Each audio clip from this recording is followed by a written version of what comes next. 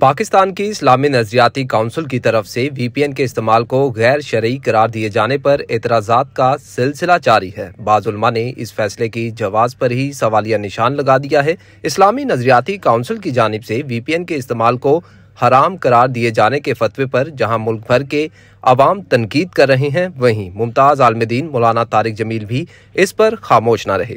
मारूफ Islamic scholar मौलाना तारिक जमील ने इस्लामी नजरियाती council की जानब से वर्चुअल प्राइवेट नेटवर्क वीपीएन को गैर इस्लामी करार देने के खालिया फतवे पर खैरत का इजहार किया है। उन्होंने मीडिया से बात करते हुए कहा कि अगर वीपीएन को गैर इस्लामी तस्वुर किया जाता है तो फिर मोबाइल फ़ोन को भी हराम तस्वुर किया जाना चाहिए, क्योंकि इसका इस्तेमाल भी इन मवाद तक रसाई के लिए वसी पैमाने पर किया जाता है, जिनकी बुनियाद पर वीपीएन के खिलाफ फतवा जारी किया गया है।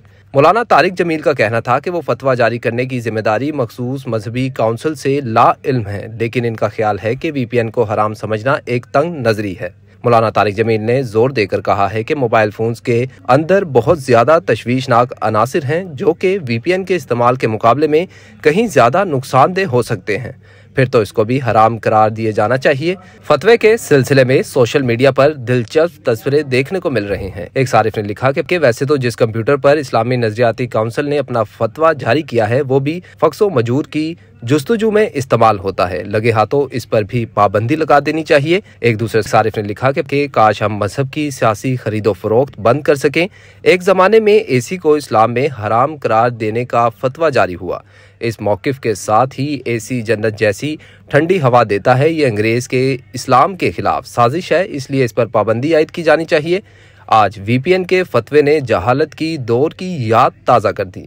जहाँ सोशल मीडिया सार्फिन की जानब से इस पर तनकीद की जा रही है, वहीं कुछ सोशल मीडिया सार्फिन ने वीपीएन पर पाबंदी के हकूमती इकदाम का दिफा किया है। एक सारिफ ने लिखा कि पाकिस्तानी हुकूमत मुफ़्त वीपीएन ब्लॉक कर रही है। अक्सर ममालिक में इन्हें कौमी सलामती की खातिर ब्लॉक किया जाता है। ये बहस इस्लामी नजरियाती काउंसिल के इस फतवे के बाद शुरू हुई है, जिसने इंटरनेट सेंसरशिप को नज़रअंदाज करके ममनुआ मवाद तक रसाई के इम्कान पर खदशात का हवाला देते हुए वीपीएन को गैर इस्लामी करार दिया था। इस्लामी नजरियाती काउंसिल ने अपने इलामी में कहा था कि गैर इखलाकी या गैर कानूनी मवाद तक रसाई के लिए वीपीएन का इस्तेमाल शरीयत के खिलाफ है।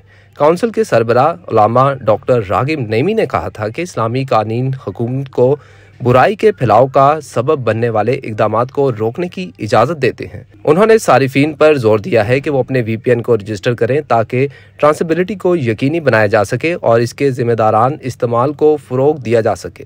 मीडिया के इस सवाल पर कि क्या रजिस्टर्ड वीपीएन पर गैर शरई मवाद देखना जायज़ है तो उन्होंने कहा कि वीपीएन रजिस्टर्ड हो या गैर रजिस्टर। इसके ज़रिए गैर शरी मवाद देखना किसी सूरत जायज़ नहीं।